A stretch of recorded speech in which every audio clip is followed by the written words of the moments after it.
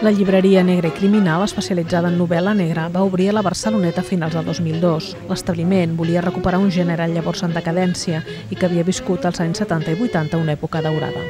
I sobretot hi havia que recuperar una concepció que nosaltres teníem, que és recuperar autors desconeguts.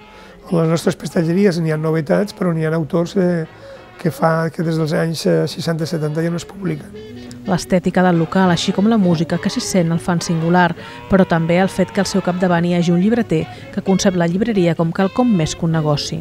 Sempre una llibreria pot ser un punt de trobada entre l'autor, el futur autor, el lector, l'editor, el traductor, i bueno, és el que hem eh, intentat aconseguir i crec que bueno, de moment ens ha sortit prou bé des d'aquest punt de vista de contacte.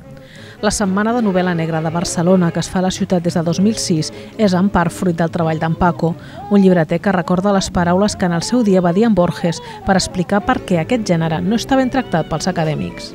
Para que la crítica y la universidad valore la novela policíaca, la novela policíaca tendrá que tener algo más de las dosis de que les gusta a la Academia de los Críticos.